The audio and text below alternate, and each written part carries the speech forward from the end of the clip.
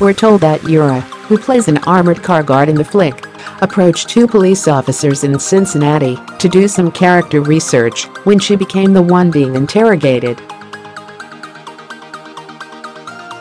It was 10 o'clock and there was no one on the street when she approached the officers, says a source close to the situation.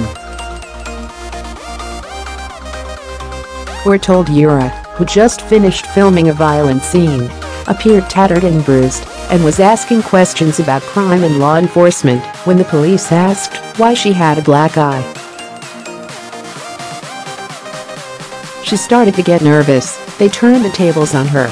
We're told it seemed the officers had a hard time believing Yura was doing research and persisted to ask the out-of-towner why she was out on the otherwise desolate street looking like anything but a movie star.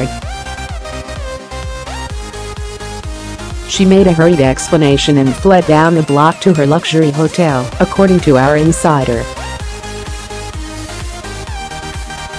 Yura, who'd been filming with Willis all day, ran into the officers after picking up dinner on her way back to the 21C Museum Hotel, where she'd been staying.